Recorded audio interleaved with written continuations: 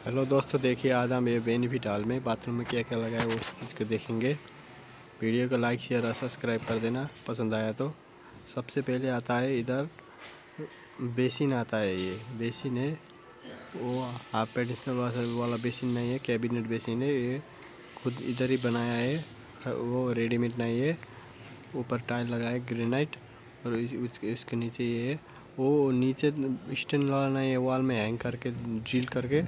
वालिंग वाला है। देखिए, उधर स्क्रू कस दिया है। चार स्क्रू है। ज़्यादा वेट नहीं है इसका।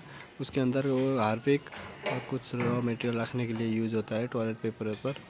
और देखिए, ये बेसिन है ये जैकर कंपनी का है।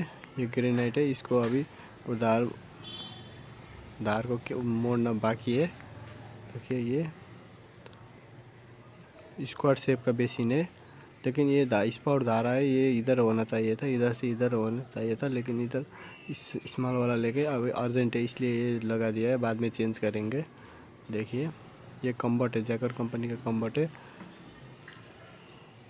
देखिए कितना अच्छा है जैकर कंपनी का कम्बट अच्छा है। फ्लशिंग वाल फ्लशिंग अच्छा से होता है फाइव सेक्शन वाला है। ये कॉम्बट स्प्रे का पॉइंट दिख रहा है आप लोग। ये इधर उधर वॉल में हैंग ड्रिल करना कर, करके रख दिया था सोच रहा था। उधर थोड़ा गैप हो गया निकल यूज़ करने में दिक्कत होता है इसलिए इधर देखिए इतना प्रेशर आ, आ रहा है इसके ऊपर ही है टैंक उसका वीडियो भी पहले बना दिया था देखें। और ये वो कॉम्बट में इन होने वाला पॉइंट है फ्लशिंग देखिए कितना अच्छा से फ्लशिंग हो रहा है।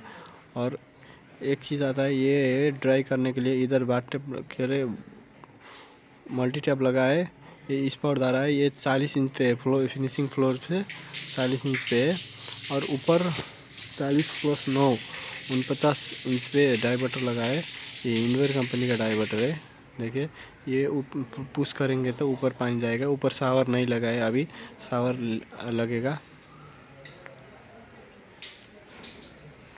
चक्कर ये इंडवेयर कंपनी का है और वो कम्बट और बेसिन जैगर कंपनी का है। वीडियो कैसा लगा आपको, सब्सक्राइब कर देना।